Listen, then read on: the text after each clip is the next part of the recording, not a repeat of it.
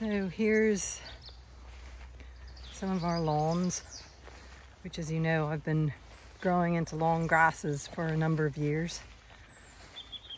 And woodland, you can see the cow parsley all around. But what I'm bringing you over here for is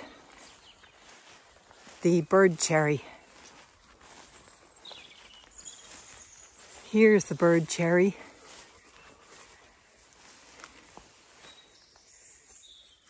This is a different cherry. This is our native European cherry. All other cherry trees are hybrids from Asia. Now the bird cherry is hugely important. We have a taller one just behind this little tree. It's back over there.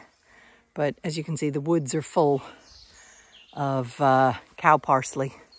It's just looking glorious.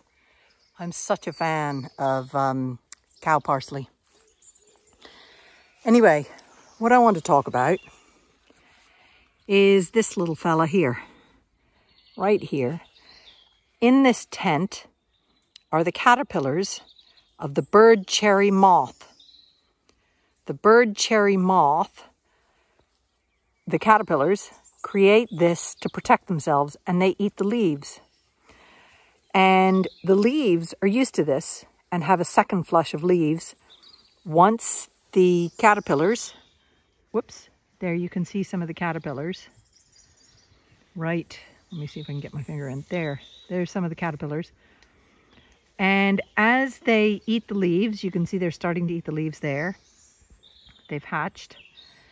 As they eat the leaves, they will continue tenting up this whole bird cherry tree and they will eat the leaves. Then when it's time for them to turn into chrysalises, they will go to the trunk of the tree and they will tent the trunk of the tree and they will put their chrysalises all up and down the trunk. So the whole trunk will be webbed. This is when the second flush of the bird cherry leaf comes out. The important part of the biodiversity is that when these turn into the chrysalises, and then turn into the bird cherry moth is at the same time when baby bats are weaned. So the baby bats will have lots of protein rich food as these moths take off from this tree. This is all in one season. So the bird cherry moth lays its eggs in I'm, I'm not quite sure, but I think they lay, lay them in uh, the autumn. Then they're hatch. The caterpillars make this nest. Then they crawl down the branches to the trunk of the tree, make their tent again and their, and their chrysalises. Then they hatch out at the same time that the bats are weaned. And that is called biodiversity. That is called nature. That's the full cycle. And I must say, it smells delicious right here. These bird cherries are really, they're such a beautiful uh, tree and such a beautiful flower. Unlike, you know, the normal cherries that have one cherry per stem, here you can see there's a whole bunch of flowers per stem. And when they're in bud and coming out, they look like lilies of the valley. So they're absolutely wonderful. So you can see there the caterpillars are there and they're probably in other locations. There's more right there. There's more. And so to me, what I'm seeing, oh, here's more. You can see right there. Right in there. So what I'm seeing is bat food. I'm seeing the cherries feeding the caterpillars feeding the moth, which is feeding the bat. And this cherry has adapted to have a second growth of leaves after the moth turns into a chrysalis. Anyway, there we go. That's me on one of my biodiversity hobby horses.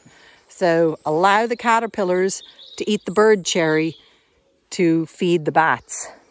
Isn't that right, Mustard? Oh, look, I've got lots of cats. The cats like the bats too. So you could say full cycle. The cats will eat the bats, but they don't very often. The bats are too clever.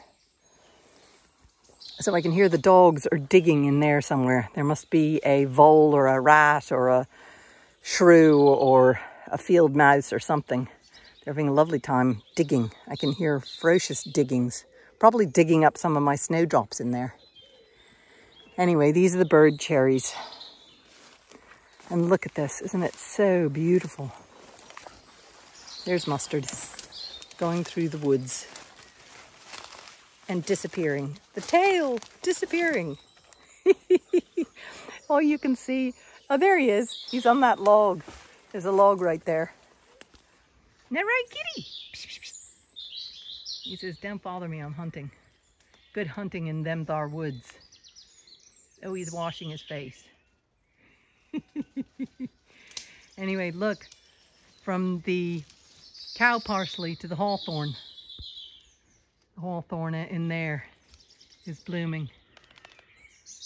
Oh, look. And Maya's on the tree trunk as well.